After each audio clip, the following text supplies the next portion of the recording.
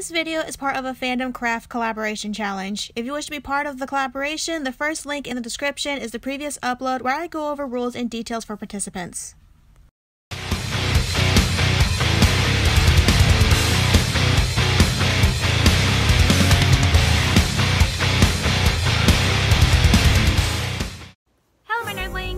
Nerd here, and welcome to one of the first art videos of 2021.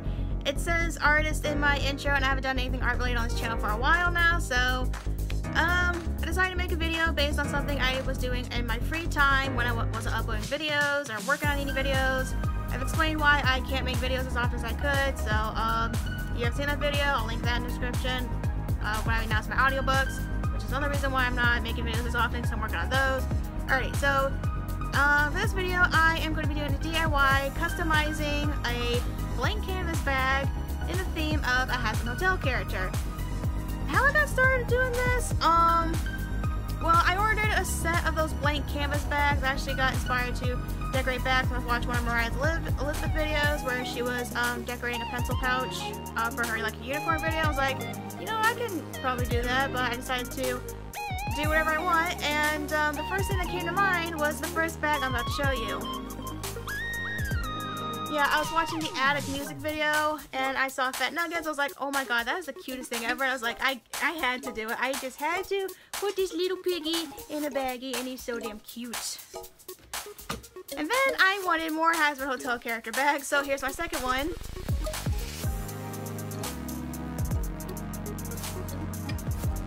If you don't, if you can't tell, it's Sir Pentious. This is um, his underbelly, because he's a snake. Then I was like, you know what? I need a bag based on my all-time favorite character. This, oh, I just realized staring at me.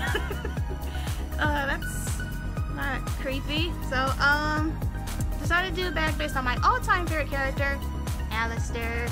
So yeah, Alastor is my favorite character because I've always been fascinated with, um, early 20th century uh, culture in America. So, um, early 20th century American culture. And since he perfectly fits that, he's obviously my favorite character for that reason. So, of course, I made a bag. Originally, I was gonna have like his two, a couple of little shadow things, those little shadow creatures he has, and have like Radio Demon and Gold, but I thought that would be overkill considering this is just the back. So, I just put his microphone um, stand Alright, so I figured, you know what? I got 12 of these bags. I obviously want to do more. Uh, one character I definitely want to do is Valentino. I got um, a sheet of fake fur, which I was like, you know what? If I put this on one side of the bag and put his heart, so that could look like his collar, and on the other side, I could probably do something else.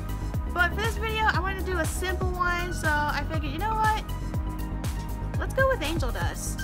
In case any of you don't know who Angel Dust is, he is a spider demon that works under Valentino in Hell's sex industry. He's a member of the LGBT community, and he's just a sassy little slut that's always fun to watch when he's on screen. Angel is definitely one of my top three best boys and very deserving of his own bag. With that introduction out of the way, let's go ahead and move on to the DIY. Alrighty, first things first, you're going to need to gather your supplies. A blank canvas bag. For this video, I will be customizing one of those blank pencil pouches or makeup bags. And a set of Tulip Soft Matte Fabric Paint. I got this from a set of 12, which I have linked in the description. You don't need to customize this type of bag specifically. If you would rather have a tote bag or even a canvas backpack, you can still take what you learned from this video and apply it to whatever bag you choose to decorate. But since I have plenty of these pouches, this bag will be the one I'm decorating for this video. After sketching my design, I am going to put down a base coat of white fabric paint. This first coat alone for both sides of the small pouch did take the entire 1 fluid ounce bottle of white fabric paint, so it's probably a good idea for you to get the bigger bottles for your more commonly used colors. I highly recommend that you put down a base coat of white fabric paint regardless of what color your bag is going to be. Putting down a base coat will prevent colors from bleeding through the bag and looking like a splotchy mess on the inside. This does happen with fabric paint and it will especially happen with acrylic paint, the colors will just bleed through and the inside of your bag is just going to look like a mess. Unless you plan to turn the bag inside out and paint the lining first, or you just don't care about the inside looking like a mess, I guess you can skip putting down a base coat. Now you're probably wondering why I'm not painting over the stencil for the bow tie and lapels. Well, it's because I kinda need them. I'm going to use the stencil as a guide for where I'm going to glue down the patches. Yes, you heard me, patches. Using a scrap of white felt that I have laying around, I'm essentially going to be making some patches. With the white felt, I have traced the stencil with black fiber paint. Going by my reference photo, I start coloring in the patches.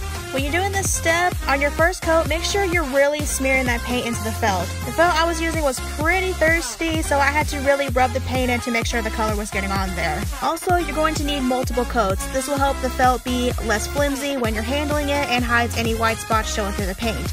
If you're wondering how many coats is enough, when your first coat is dry, just hold it up to a source of light and if you see any light shining through your paint job, you're going to need to add more coats. Don't worry about the patches looking messy during this process. It's easy to come back when it's dry and do some cleanup with smaller paintbrushes or those dotting tools you use for your fingernails. After I finish working on my patches, I bring the bag back after those base coats have dried and I redraw the stripes for Angel's Blazer. With the white fabric paint, it's pretty easy to sketch on and erase, so you don't really need to worry about that being an issue.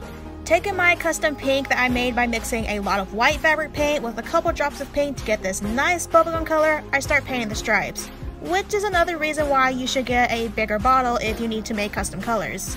As I was painting the stripes, I noticed that the pink stripes were just a little too thick, which wasn't a big deal. As I said before, it's pretty easy just to come back and cover the paint with another color. So when the pink was completely dry, I just came back with white and made the white stripes just a bit thicker. After the stripes have been cleaned up, I decided to paint the edge of the stencil so there wasn't any empty spaces showing when the patches have been glued on. When the stripes have dried, I turned the bag over and decided to paint some on the back so it wasn't so empty looking.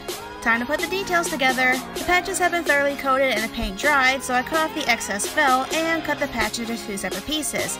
Next, I'm going to bring in my faux fur. Since this is an angel dust bag, it makes sense for there to be fur, so the bag can have Angel's glorious poof. After I had the fur removed from its packaging, I laid it face down on my work surface with the grain pointing down. Then I put the patches on the back, putting them together so I can trace the inside shape. When you have your shape, you're going to carefully cut on the outside of the line you traced rather than directly on the line that you traced. I purposely skipped the process of cutting this out because, as you expect, cutting this piece of fur was very, very messy. There was loose fur everywhere, it was just a mess. With the patch of fur cut out, I took my no-sew fabric glue and using a popsicle stick, smeared glue all over the back of the fur and the patches. I made sure to glue the fur on first and then glue the lapels, making sure they were slightly overlapping each other with the inner edges of the lapel being on the fur, so it looks more like Angel's poof. And after that was all done and dry, I get the bow tie, just put glue on it, and put it on its rightful place, making sure to apply a lot of pressure to make sure everything was coming in contact so it would dry properly. And there we go. If you followed this tutorial, congratulations, you now have your very own customized Angel Dust themed Hazbin Hotel bag. Now you can use it to hold your pencils, use it to hold your makeup, use it as a wallet, or just put it somewhere for decoration. This is your bag. Do with it whatever makes you happy.